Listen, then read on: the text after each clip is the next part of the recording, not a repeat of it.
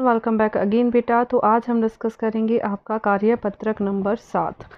इसने, इसमें देखो क्या दिया हुआ है, भारत एक कृषि प्रधान देश है, इसलिए, इसीलिए भारत में किसानों का बहुत महत्व है।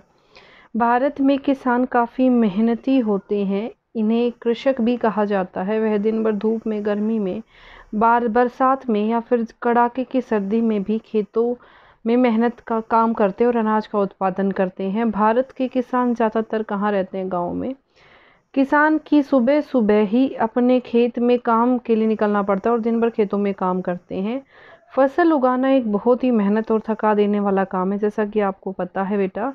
लेकिन फिर भी किसान इसे पूरा दिन करता है।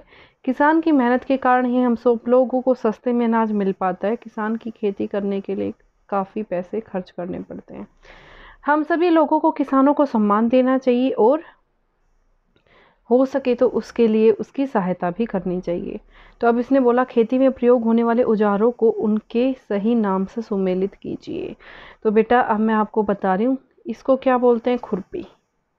इसको क्या बोलते हैं? कुल्हाड़ी। इसको क्या बोलते हैं? फावड़ा।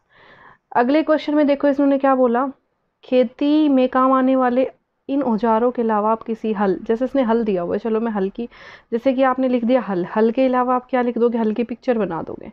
हल की पिक्चर कुछ ऐसी होती है, एक यहाँ पे ऐसा डंडा सा होता है और यहाँ पे एक ऐसी खुरपी सी होती है, ठीक है? तो बेटा, आप हल्की पिक्चर नेट से देख के आप यहाँ पे बनाएँगे। आगे देखो, चित्र को देखकर अपने आपके मन में विचारों, अपने आपके मन में विचारों को लिखें। जैसे, चीर के ज़मीन को मैं उम्मीद बोता हूँ, मैं किसान हूँ दिन रात मेहनत करता हूँ।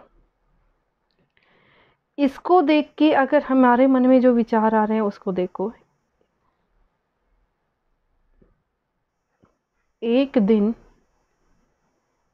मेरी मेहनत, रंग लाएगी ज़रूर।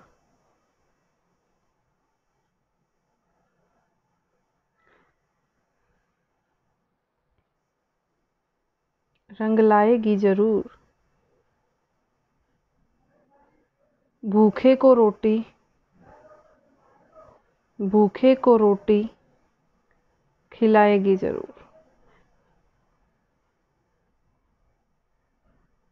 अगर किसान मेहनत करेगा, तभी अनाज सस्ता होगा, अनाज सस्ता होगा, तभी तो बेटा भूखे को रोटी मिलेगी।